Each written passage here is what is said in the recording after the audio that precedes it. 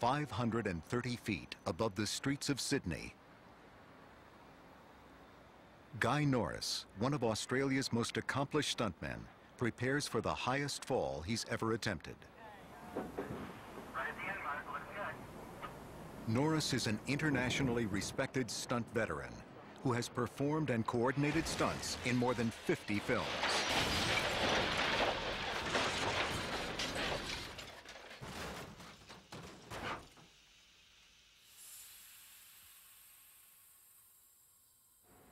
This monumental jump is being staged for a British commercial in which a man swan dives from the top of a 43-story building. But the dizzying height is only one of the problems the stunt team faces. There was a lot of work to be done. We had to bring a, a rigging crew both from United States and from Canada. They also brought out a, a descending system for us and we had to be able to manufacture and build an entire rigging structure that we had to take to the top of the building our problems were that it all had to fit in an eight-foot elevator and we weren't actually allowed to put any bolts into the top of the building at all. The rig will have to be held in place by barrels filled with water. Lane Leavitt, head of Hollywood stunt technology company Leavitation Inc., is overseeing this unprecedented leap. The stunt relies on a device called a descender, which works like a giant fishing reel, precisely controlling the rate at which the stuntman falls. We can do a fall any, any speed we want, from full speed to half speed to just basically crawling down the side of a building. We can uh, start the slowdown anytime we want. It's just so adjustable.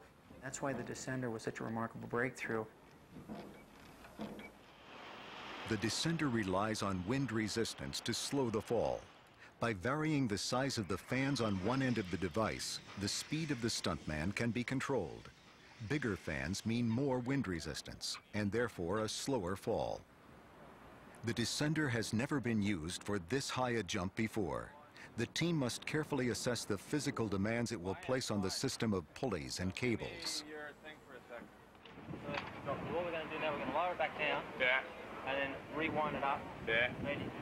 And we'll treat it as like a full rehearsal. Yeah, it will be.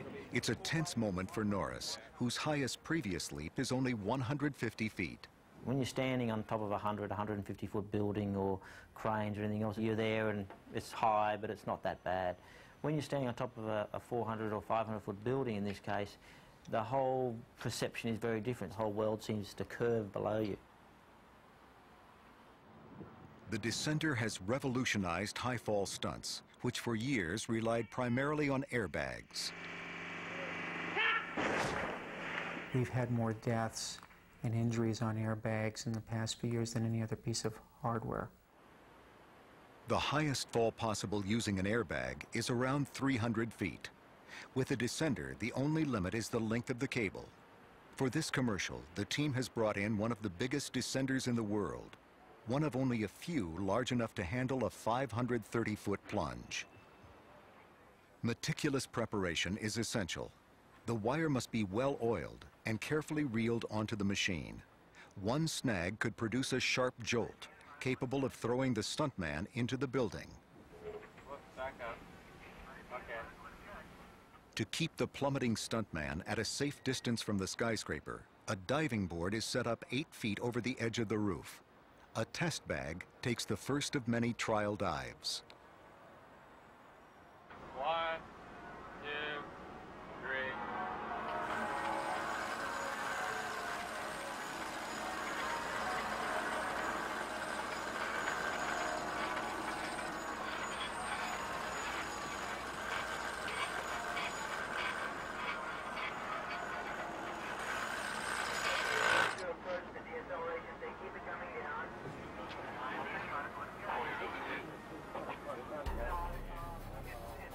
The tests are analyzed in detail, the crew looking for any sign of potential problems.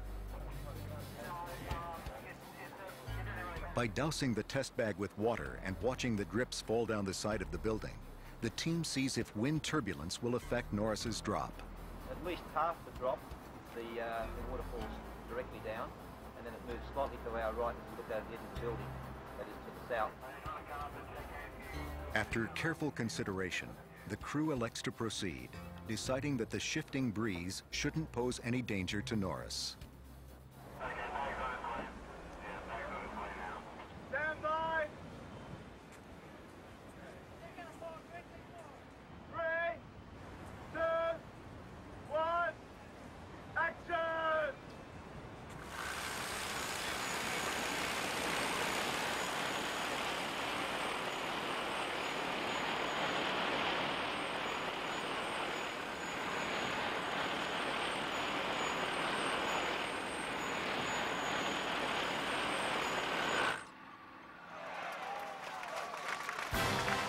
After weeks of preparation, the stunt is over in seconds.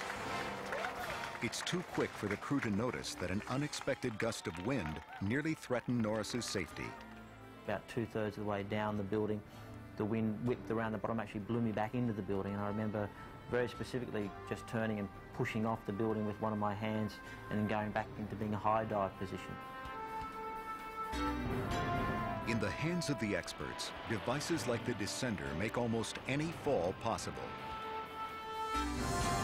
But ultimately, the most exciting stunt action depends on the expertise and courage of professionals like Guy Norris.